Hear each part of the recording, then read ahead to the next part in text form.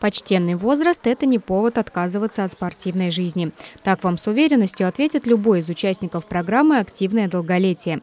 Например, игра в настольный теннис – это не только интересно, но и полезно. Сергей Горелов посетил физкультурно-оздоровительный комплекс на Дальнем Воронке и тоже сыграл партию вместе с участниками программы. Глава городского округа Щелково пообщался с жителями. Они рассказали ему, почему для них так важна данная программа. Тренер и наставник показывают, как держать ракетку, как мяч. Я не знаю, я правильно держал. Как смог. Да, изначально у нас было 6 человек, четверо было с Воронка, поэтому у нас Воронок команда. На данный момент в группе по настольному теннису 20 человек. Так как стола всего 4, играют по очереди, но это никого не расстраивает. Участники рассказывают, что коллектив формировался постепенно. Для щелковских пенсионеров подобные мероприятия – это не только отличная возможность поиграть, но и также собраться вместе и просто пообщаться. Собирали народ потихонечку, призывали.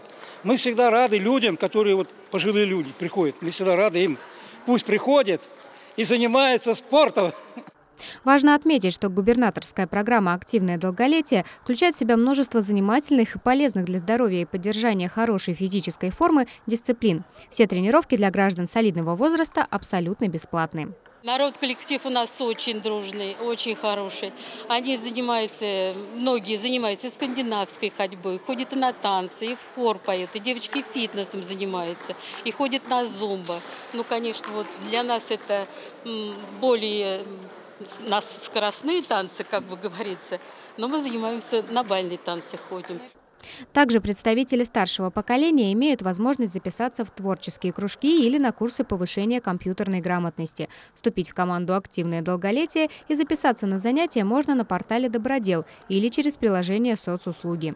Мария Буржинская, Игорь Поляков, Щелковское телевидение.